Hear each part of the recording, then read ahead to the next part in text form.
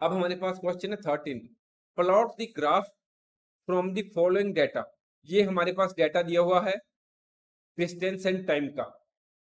Answer the following question what is the type of motion shown in the graph पहले हमने इसकी मदद से एक ग्राफ तैयार करना है, ठीक है? ये आप देखें, ये हो गई आपके लिए वाई एक्सिस ये एक्स एक्सिस ठीक है? इस तरह पर आप टाइम लिखेंगे। ये आपके सामने ही दी हुई है और यहाँ पर आप डिस्टेंस देंगे, ठीक है? ठीक है?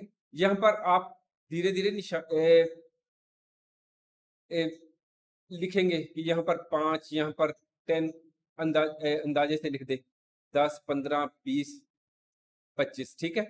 और यहाँ पर आप, ये आप देखें, टाइम, यहाँ पर टाइम जो देना है, दो, चार, two, four, six eight, ten, ठीक है? और यहाँ पर स्ट्रेट लाइन जाएगी, ठीक है? आप यहाँ पर इसको काउंट भी कर सकते हैं।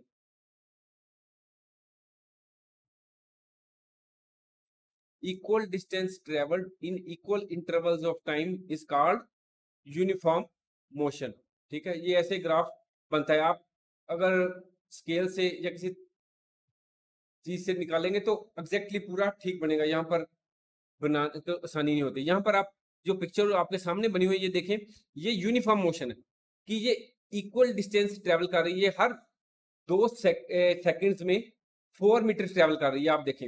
हर दो सेकंड्स में देखें ये जो डिस्टेंस ट्रेवल ये आपके सामने आएगी ये फोर होगी। ये हर टू सेकंड्स में ये आपके सामने यहाँ पर ठीक है? ये फोर ठीक है ना?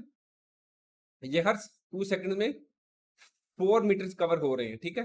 This is called uniform motion ठीक है? चलो, आगे चलते हैं।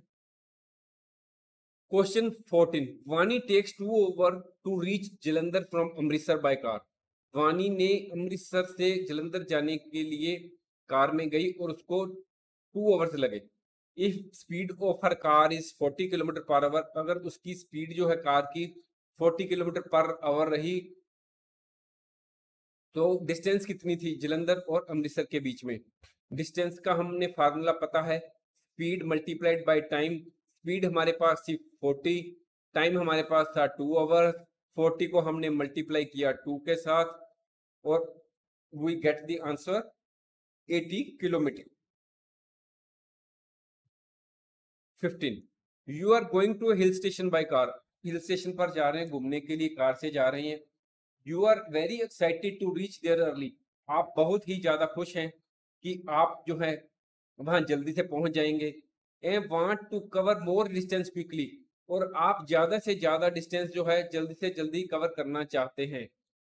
You are asking your dad आप बार बार अपने पिताजी से पूछ रहे हैं अबाउट द डिस्टेंस कवर्ड कि कितनी दूर कितनी दूर हम आ गए हैं और कितनी दूरी बाकी रह गई है। बार बार पूछ रहे हैं। Your father told you about a device आपके पिताजी ने आपको बताया फादर्स ने, कि कार में एक डिवाइस होता है which can measure the distance covered by car जिससे हमें ये पता चलता है कि कार ने कितनी डिस्टेंस ट्रेवल की है। क्या आप उस डिवाइस का नाम बता सकते हैं? Can you name that device yes we can answer is an odometer odometer is the device that is use for measuring the distance travelled by a vehicle odometer की मदद से हमें पता चल जाता है कि हमारे व्हीकल ने कितनी डिस्टेंस ट्रेवल की है। अब हमारे पास क्वेश्चन है sixteen show the shape of a distance time graph for the motion in following cases a car moving with a constant speed एक कार है, वो कांस्टेंट स्पीड से चल रही है। यानी कि लगातार एक कांस्टेंट स्पीड सपोज़ करो 40 किलोमीटर पर आवर की स्पीड से। वो इक्वल इंटरवल ऑफ़ टाइम में इक्वल डिस्टेंस कवर करेगी। और जो उसका मोशन होगा वो यूनिफॉर्म मोशन होगा। वो कांस्टेंट स्पीड से चल रही है। और एक जो कार है, वो साइड की रोड पर खड़ी है। और उसकी जो ग्राफ होगी वो ऐसे होगी। जैसे सपोज़ करो। आपका यहाँ पर घर है। सपोज़ करो। ठीक है? और यहाँ पर किसी ने कोई कार खड़ी की हुई आपके घर के बाहर दूर थोड़ी सड़क के ऊपर on a road side there is a car park you have seen after 5 minutes you will find that the car is still standing there after 2 hours you will again find that the car is still standing there after 3 hours you will again find that the car is still standing there so what you will find motion of the car is parallel to the x axis ठीक है आप उसी स्थान पर खड़ी है, ये car, ठीक है ना? ये डिस्टेंस टाइम ग्राफ हो गया for a car parked on the side road और अगर कार लगातार मूव कर रही है तो ये क्या होगा? टाइम भी बढ़ता जाएगा और ये डिस्टेंस भी बढ़ती जाएगी। कार आगे चलती जाएगी।